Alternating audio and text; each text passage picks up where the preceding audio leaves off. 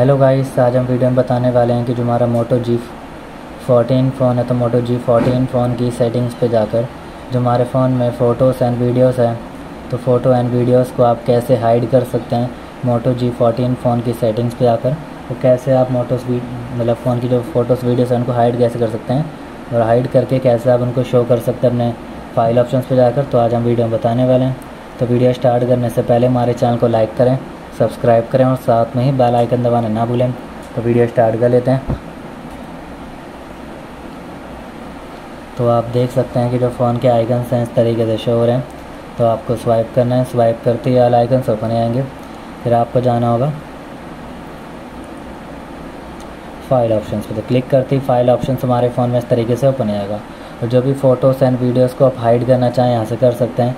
Photos को hide करना चाहें तो इस तरह सेलेक्ट करके आप हाइड कर सकते हैं। जैसे हमने सेलेक्ट कर लिया है तो हाइड करना चाहते हैं तो आपको थ्री डॉट का ऑप्शन आ जाएगा तो इस पर क्लिक करना है। थ्री डॉट पे क्लिक कर दिए ये ऑप्शन आएगा मूव टू सेव फोल्डर तो मूव टू सेव फोल्डर पे क्लिक करना है और यहाँ से पैटर्न डाल देना है। जब आप पैटर्न डाल देते हैं तो पैटर्न डालते जो भी आपके फ़ोन में फ़ोटोज़ एंड वीडियोज़ होगी हाइड हो जाएँगी और हाइड होती हमारी हाइडिंग फोल्डर में चली जाएँगी। तो अब इनको शो कैसे कर सकते हैं, यानी कैसे देख सकते हैं? तो आपको सेव फोल्डर का ऑप्शन दिख रहा था तो उस पर क्लिक कर दिया हमने। फिर आप पासवर्ड डालते हैं, इस तरीके से जो भी आपका राइट पासवर्ड डालते हैं, यही फ़ोटोज़ हमारे हाइडिंग फोल्डर में शो हो जाएँगे।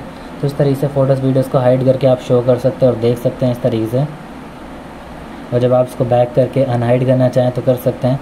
सिंपली मूव आउट कर देंगे तो आपकी जो फ़ोटो से वापस आपकी गैलरी में चली जाएगी और यहाँ पर शो करेगी। तो इस तरीके से फ़ोटोज़ एंड वीडियोज़ को हाइड कर सकते हैं और शो कर सकते हैं अपने मोटो फ़ोन में। तो वीडियो को लाइक सब्सक्राइब करें बेल आइकन दबाना ना भूलें। थैंक यू नेक्स्ट वीडियो के लिए इंतज़ार करें।